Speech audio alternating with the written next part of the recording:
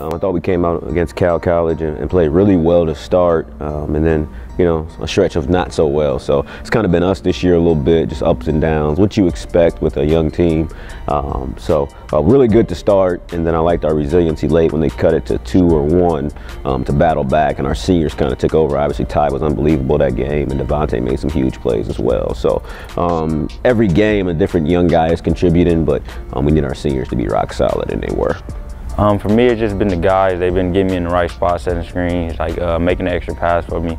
Uh, coach been calling my number, uh, let me take a couple tough ones, but overall, it's just the guys helping me out, letting me uh, get to my spots, and just uh, helping me create. Ty's does a great job with the young guys, um, setting the tone in practice every day. Um, and then during games, you know, Ty has a good feel and a good knack for when things are getting tight. Um, he knows when to bring the group together to settle us down or, or to say whatever to pump us up. So he's done a good job in that aspect. And, you know, obviously when he's scoring the ball, that's an added bonus. You know, we'll take 34 every night from him. Um, but when he's good, we're good. And it starts with his leadership, his vocal leadership, um, as long as it's leading by actions on, on the floor. Um, Carter, he works uh, relentless every day on his game. Uh, he grows every day. He, li he likes to learn. He likes to listen. He likes to work. Jalen, he's a big, big guy down low. He loves to work on his game, uh, his post moves, his post defense. He's growing every day. Uh, he's still learning, but he's obviously he had double double, so he's doing great. Um, we got to be more disciplined.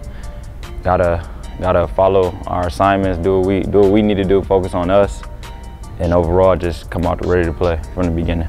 Uh, our message is staying consistent. We got to get better every single day. Um, this week, um, you know, we're not worried about, like any game, we're not worried about left column or right column. We're worried about improvement. Um, but there's certain things that you have to do against top-ranked teams in order to compete. And um, that's defend and rebound at a high level, be very, very disciplined, be resilient, and know the scout. And then, you know, I thought we kind of took a step back in that area the other night, but it's on us as coaches to get it corrected. And so hopefully Saturday we'll have a better showing. Again, we're not judging ourselves on the result. We're judging on how much progress we've made with this young team, and um, you know, we need to get back to that.